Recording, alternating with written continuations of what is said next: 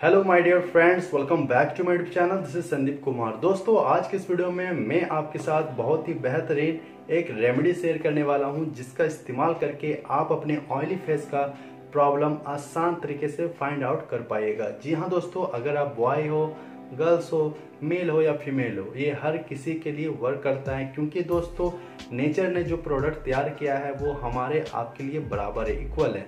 तो बस दोस्तों, हमें ये ध्यान रखना है कि अगर हम इसका इस्तेमाल करते हैं तो किस वे में करना है और कब कब करना है। तो दोस्तों, सबसे पहले हम ये जानते हैं कि हमारे ऑयली फेस का प्रॉब्लम क्रिएट कैसे होता है। सबसे पहले दोस्तों, हमारा जो डाइट का जो प्लान है, जिस तरह से हमें न्यूट्रिशन पर डे के वैल्यू लेना चाहिए, वो हमारा डाइट प्लान बिगड़ा हुआ है। जिसकी वजह से हमारे बॉडी में जो हार्मोन्स होते हैं, उसका भी बैलेंस बिगड़ जाता है। साथ ही दोस्तों, आज हम घर से बाहर जब भी जाते हैं तो ज़्यादातर चिप्स वाले पकौड़े खाते हैं ऑयली फ़ूड खाते हैं फास्ट फ़ूड खाते हैं। तेल में छने बुने हुए जो खाना है, वो खाते हैं, जिसके वजह से हमारे लीवर का पूरा डाइजेशन सिस्टम भी बिगड़ चुका है।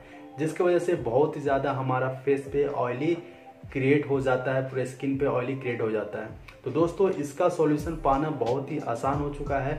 लेकिन दोस्तों, जैसे ये प्रॉब्लम क्रिएट होता है तो होता क्या है कि बाहर में, जब हम घर से बाहर रहते हैं तो वातावरण में पॉल्यूशन डट जो रहती है, वो चिपकना शुरू हो जाती है, जिसके वजह से पिंपल्स के प्रॉब्लम एक्नी के प्रॉब्लम डार्क सर्कल के प्रॉब्लम बहुत सारे प्रॉब्लम क्रिएट हो जाते हैं फेस को लेकर जिसके बहुत सारे ट्रीटमेंट भी करवाते हैं, लेकिन हमें परफेक्ट रिज़ल्ट देखने को नहीं मिलता है। तो दोस्तों, आज मैं आपको बताऊँगा कि आप आई का कौन सा प्रोडक्ट लीजिएगा, जिसका इस्तेमाल करके आप इजी वे में सॉल्व आउट कर पाएगा जी हाँ दोस्तों तो वो इतनी बेहतरीन प्रोडक्ट है जिसका नाम है हल्दी बेसन। जी हाँ दोस्तों, हल्दी बेसन लीजिएगा, साथ में आपको गुलाब जल की मात्रा मिलाना है और दोनों को अच्छी तरह से मिक्स करना है। रात के टाइम से अच्छी तरह से अप्लाई कीजिएगा। आपको कंटिन्यू कम से कम अप्लाई करने के बाद 10 से 15 मिनट से छोड़ देना है।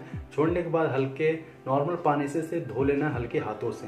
जब आप धोइएगा तो होगा क्या कि धीरे धीरे आप देखिएगा कि आपके ऑयली फेस के प्रॉब्लम धीरे धीरे सॉल्व होना शुरू हो जाएगा। ये आपको कंटिन्यू एक से दो हफ़्ता करना है, फिर आठ से दस दिनों में आप देखिएगा कि आपको कितना परफेक्ट रिज़ल्ट देखने को मिल रहा है। तो ये था बहुत ही बेहतरीन फॉर्मूला आपके ऑयली फेस के प्रॉब्लम को सॉल्व करने के लिए।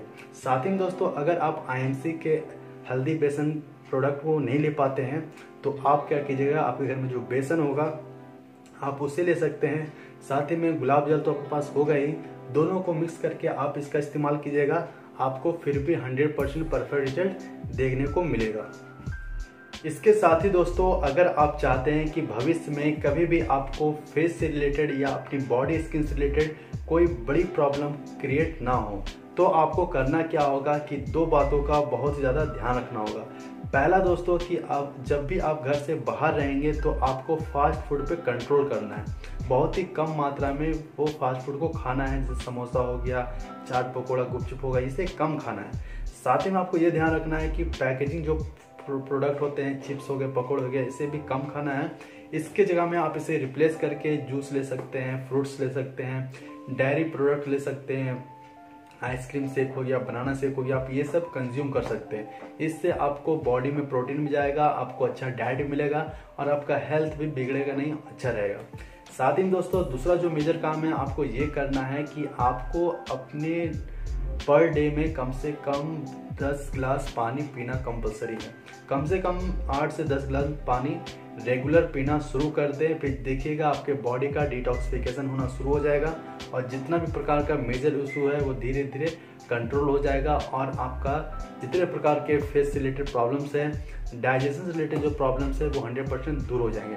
क्योंकि दोस्तों, अगर पेट ठीक तो सब ठीक, इसलिए पेट का ध्यान रखिएगा तो ही आपका फेस भी ग्लेजिंग करेगा। अगर हमारा टंकी साफ़ रहेगा पेट का तो हमारा फेस भी लाइटिंग ब्राइटिंग जैसा चाहता है, वैसा रहेगा। तो ये था दोस्तों आज के लिए खास वीडियो।